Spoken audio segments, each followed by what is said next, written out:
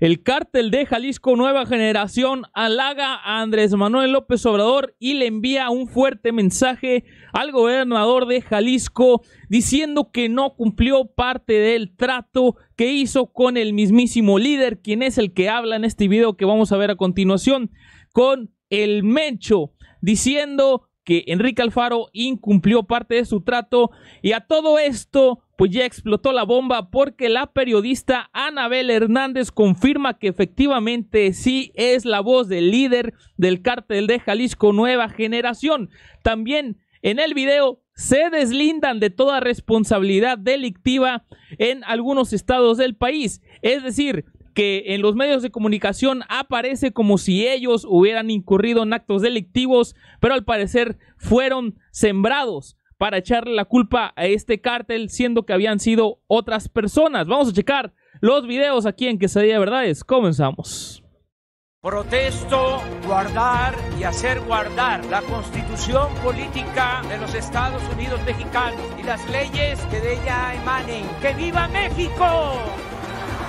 ¡Viva México! ¡Viva México! Bueno, mis amigas, sin más preámbulo, vamos a checar este video donde revelan las corruptelas de Enrique Alfaro, según por voz del Mencho, según ya lo confirmó Anabel, este, perdón, eh, sí, Anabel Hernández. Lo vamos a checar. Que Dios me los cuide antes que nada. Espero estén teniendo un buen día. Todos ustedes, ciudadanos de México, con mucho respeto me dirijo hacia ustedes. Estamos en pleno siglo XXI y todos sabemos que no se puede tapar el sol con un solo dedo. Nosotros, el cartel de Jalisco Nueva Generación, nos deslindamos y hacemos saber a la ciudadanía que no tenemos nada que ver con ningún acto delictivo efectuado en los estados de Puebla, Ciudad de México, Oaxaca, Chiapas, Estado de México, Cuernavaca y Chihuahua. Ya que nosotros no secuestramos, robamos a la gente, no hacemos cobro de piso mucho menos extorsión a la ciudadanía.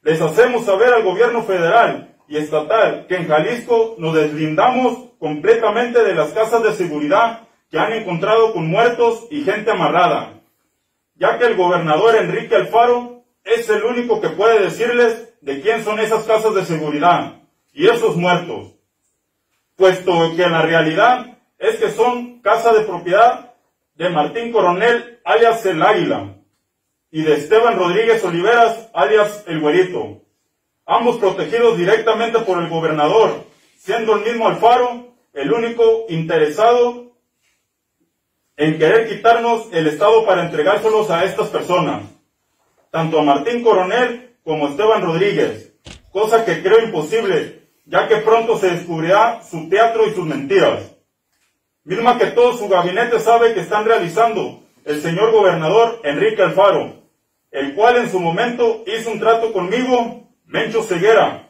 el cual no cumplió en lo más mínimo. Todos ustedes saben que antes de que entrara el nuevo gobierno a cargo de Enrique Alfaro, aquí en Jalisco, todo estaba tranquilo. Y ahora con su mandato empezó la violencia en todo el estado. Señor, señor Andrés Manuel López Obrador, yo creo que usted es una persona justa, y está haciendo su trabajo que desciende a la ciudadanía, como yo desciendo a mi gente y a los ciudadanos. Cheque las cuentas que Enrique Alfaro tiene en Suiza y en las Islas Caimán.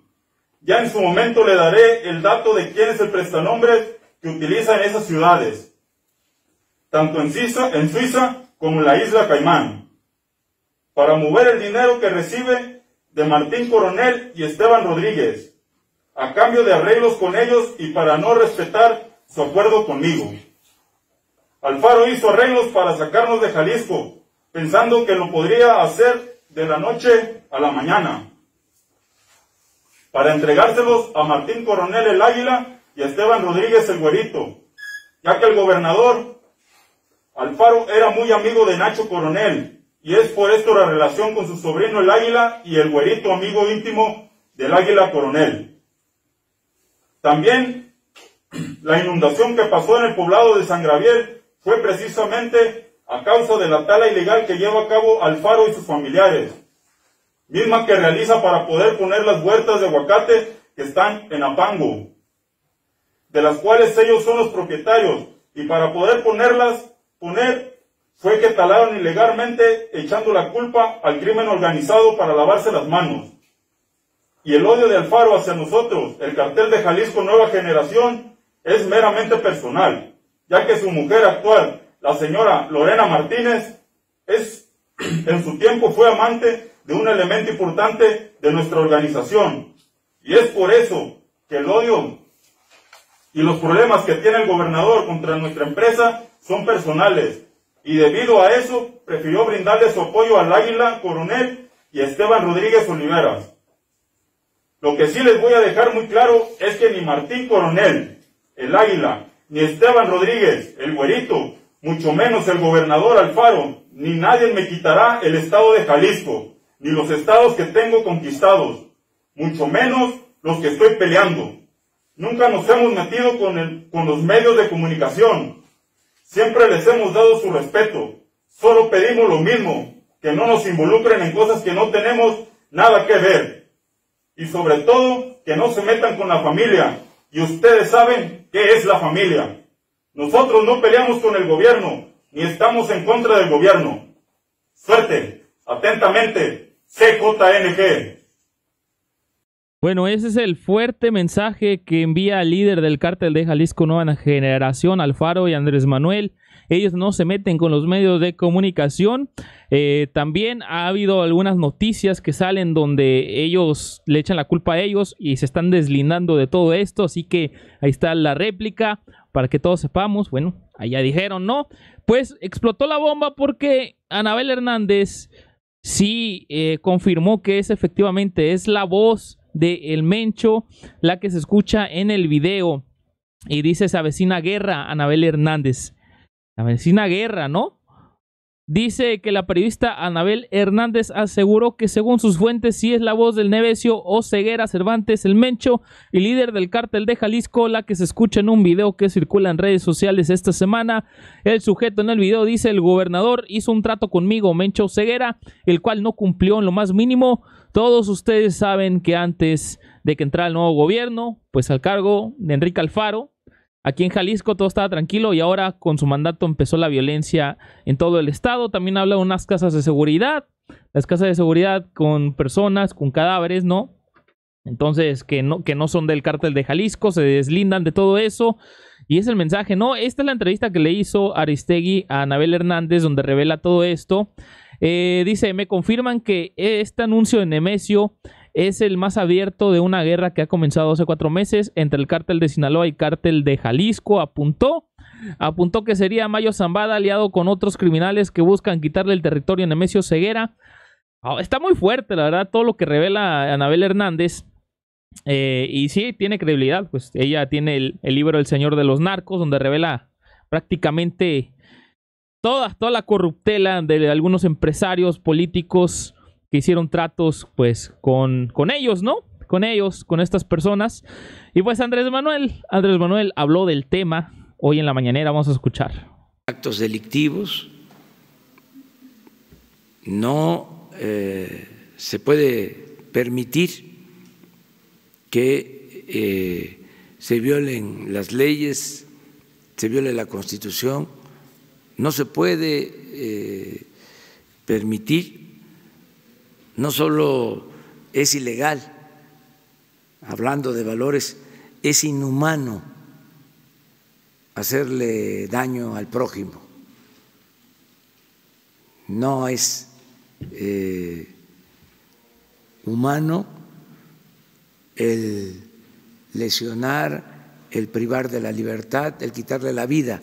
Vamos a ver desde dónde le hacen la pregunta, porque está interesante. A ver, vamos a escuchar aquí presente sobre el tema, porque se involucra a este cártel que se supone es el principal generador de violencia en nuestro país, que se deslinda de varios estados en los que han hecho, se han ocurrido hechos sangrientos y en particular se señala a un gobernador, Enrique Alfaro, en Jalisco. Mire, este, nosotros estamos eh, enterados de todo lo que eh, sucede, es nuestra responsabilidad, nuestra obligación, pero eh, no consideramos que todo eh, obedece a lo que se está eh, eh, queriendo expresar, no todo lo que se ve tiene que ver con la, con la realidad. por eso vemos con precaución de manera precavida todo esto, las mantas, los mensajes, eh, amenazas. Nosotros lo que sostenemos es que debe de haber respeto a las autoridades, no apostar a intimidar a autoridades, mucho menos agredir a las autoridades y eh, actuar con eh, legalidad, no eh, llevar a cabo acciones eh, ilícitas, no participar en actos delictivos, no se puede permitir que se violen las leyes, se viole la Constitución, no se puede eh, permitir, no solo es ilegal, hablando de valores, es inhumano hacerle daño al prójimo, no es eh, humano el lesionar, el privar de la libertad, el quitarle la vida a un semejante. Eso eh, está eh, prohibido, no permitido, está em, mal visto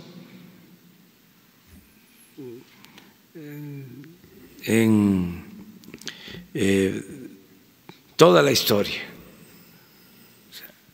Es parte de los mandamientos. No hacer daño, el no quitarle la vida a nadie. Entonces, este es el mismo llamado a todos los que se dedican a estas actividades ilícitas a que se porten bien, que este, no eh, afecten a los demás. No hay ninguna justificación. Antes podían decir, es que el presidente es un corrupto o hay corrupción arriba. Ya no hay eso o podían decir es que no tengo yo posibilidades, sobre todo en el caso de los jóvenes, de tener un trabajo, de tener posibilidad de estudiar.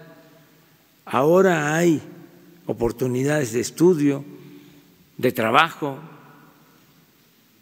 Además que piensen por ellos mismos, no es vida andar de un lado para otro en la clandestinidad, escondiéndose, cuánto sufrimiento a la familia, por todas las madres, que son las que sufren más. Entonces ya, vamos todos a portarnos bien y eh,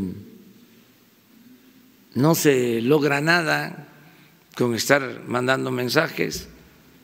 Si en algún tiempo se exaltaba eh, la balandronada o el ser muy despiadado, ya no. Ahora va a ser mal visto el que se dedique a eso, como el que se dedique a robar. va a haber toda una campaña que tiene que ver, que, tiene, que, que se relaciona con esto de la educación formal y va a haber educación no formal, una gran campaña para eh, no eh, consumir drogas, explicando el daño que causa,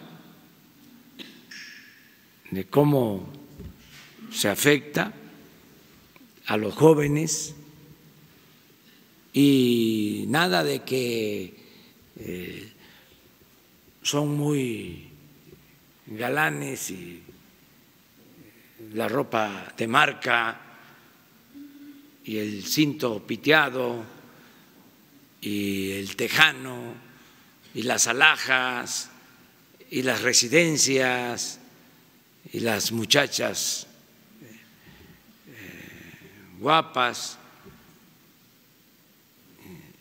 los carros últimos modelos, todo eso es lujo barato, es hasta ridículo. Entonces eso ya este, se va a la historia, pero al basurero de la historia, porque eso no tiene nada que ver con eh, los valores. Solamente eh, siendo buenos podemos ser felices. Entonces vamos a trabajar mucho esto. Y en el caso de la educación, por lo que se hablaba, de los productos chatarra, lo dije y lo repito, va a haber una campaña como nunca. Ahí está, amigos, amigos, la educación para la salud. Campaña contra los productos chatarra, pero pues también sacar, eh, darle educación a la gente, a los jóvenes, para que no tengan que entrar a, pues, actividades ilícitas, como lo llama Andrés Manuel López Obrador. Esa es la solución. La solución no es violencia, la solución no es amenaza ni nada, ¿no? Es lo que dice Andrés Manuel. Amigos y amigas, digo ustedes qué piensan de esta información, qué piensan de todo esto. Eh, pues sí es un escándalo lo que está sucediendo ahorita en redes sociales con este tema. Y pues más que lo confirmó Anabel Hernández en entrevista con Arestegui. Digo, ¿ustedes qué piensan en la caja de comentarios? Yo soy CRM Reporte para que sea verdades y nos vemos en un próximo video. Chao, chao.